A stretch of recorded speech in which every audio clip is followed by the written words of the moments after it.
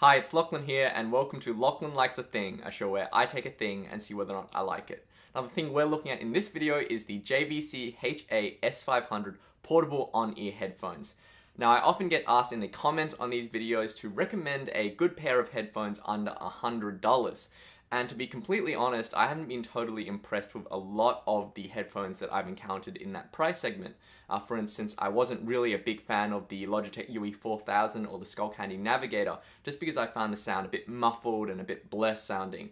Uh, and even the headphone that I do really recommend for $100, which is the Sony ZX701 IP, originally retailed for over $150, so you know, that's kind of cheating a little. Um, but I did get a lot of comments recommending that I should check out these headphones. These are JVC HA-S500s. And uh, these retail for something like $44 on Amazon, and I got these used on the headfi.org forum, um, the for sale forum, for about 34 bucks. And I gotta say, for the price, I'm actually really, really impressed. So let's take a closer look.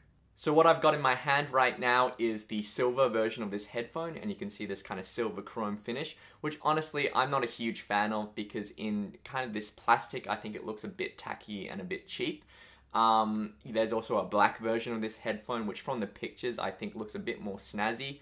Uh, overall, in terms of finishing, I have to say the materials and the plastic used on this headphone do seem a little on the cheaper side and uh, you know, this headphone does feel like a kind of $40 headphone in a lot of ways. That said, in terms of the actual solidity of the construction, the chunkiness of the parts, it actually feels relatively solid. It doesn't feel flimsy or cheap in, in that regard. So um, I'm not overly concerned about the durability of this headphone.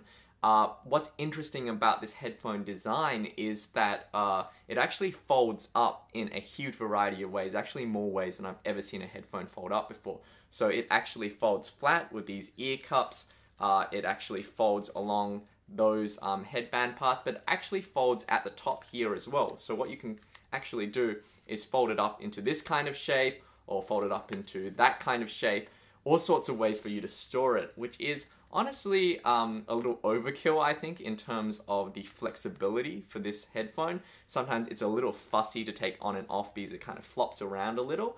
But that said, I'm always a big fan of headphones that fold up and this is definitely uh, one of the most flexible headphones that I've ever encountered. Now, in terms of the cable, uh, once again, JVC has outdone themselves. Um, if you've seen my JVC FXD80 review, uh, I had to say JVC always puts really nice cables even on their cheap gear.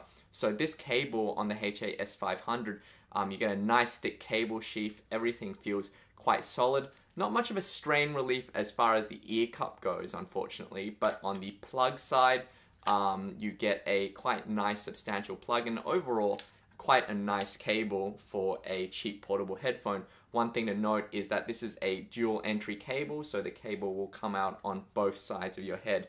Overall, um, I think the build quality isn't stellar, but it's pretty good for the price. So in terms of comfort, the earpads on the S500 appear to be made out of a relatively nice feeling material, but the foam used on the inside of the earpads is quite dense, and as a result, the earpads aren't particularly soft feeling, they aren't particularly compliant. And uh, combined with the smaller ear cup size, what you get when you put them on your ears is you get quite a strong feeling of the earpads kind of pressing against your ears. It's not as if clamping force is particularly tight, but the earpads just aren't very soft. Uh, you can thankfully remove the earpads and kind of replace them with other options. I haven't tried that myself, but that might be something to look into. As far as the rest of the headphone goes, it's a relatively lightweight headphone uh, and it, it, it's uh, relatively secure feeling on the head, so no concerns that way. The single uh, sided cable, sorry, the dual entry cable on both sides might be a little irritating for some, but um, the cable is relatively lightweight and it's not a huge issue. Um, in terms of noise isolation, I think this headphone is just a little below average. Um, I do feel like it doesn't block out quite as much noise as something like the Skullcandy Navigator, but uh, it, it's serviceable and certainly um, in terms of overall ergonomics, I think this is a reasonable headphone for the price, but it's certainly not best in class. So in terms of sound, let me set your expectations first. This is a $40 headphone, and for $40 you're not going to get some sort of amazing high fidelity, super detailed sound. Um, in terms of overall sound balance, these are bassy sounding headphones, and they have a uh, somewhat congested, somewhat compressed sound stage, uh, and they're a bit murky, and you can definitely hear kind of the internal reflections from the ear cups. Uh, certainly, this is not a giant killer, and it's not going to compete with something like the Sennheiser Amperior anytime soon. All that said, I do like these headphones way more than the UE 4000 or the Skullcandy Navigator.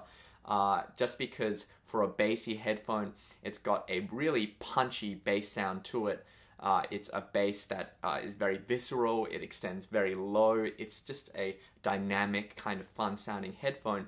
And in terms of treble, even though the treble presence isn't particularly emphasized, um, it still has uh, quite a lot of shimmer, um, uh, a nice texture to the treble that really kind of gives this headphone a bit of flavor. So overall, I think this is definitely one of the better options in terms of sound for $100 provided that you do like your bass. So just like how I thought the JVC FXD80 is standout value in the in-ear earphone market, I think JVC has brought some of that carbon nanotube magic to the HAS500 because this is a headphone that's really good value in this price segment. It's got a clever construction, it's got a fun, dynamic, punchy sound to it. Just overall, a really good value headphone. Now, um, if you are after a bit more of a leaner sound, a bit more of a detailed sound, I would check out the Sony ZX701 IP, um, and you can check that review out on my channel. This is more of a detailed sound, a bit more of a balanced and, and definitely a more well-built headphone. But if you are after a bassier headphone for yourself or you're uh, you know looking to gift something for a friend, I think this is definitely a good value option. So thank you to everyone who uh, asked me to check these out because these are a bit of a gem. Anyway, thanks for watching this video. You can click the like button if you found it helpful and please leave a comment and let me know what you think. Uh, you can talk to me on Facebook at facebook.com slash thing or on Twitter at Lach likes a thing. Uh, thank you again to all my regular subscribers. I just hit uh, about 500,000 views, which is fantastic. And so thank you again for all your support. Uh, and happy listening.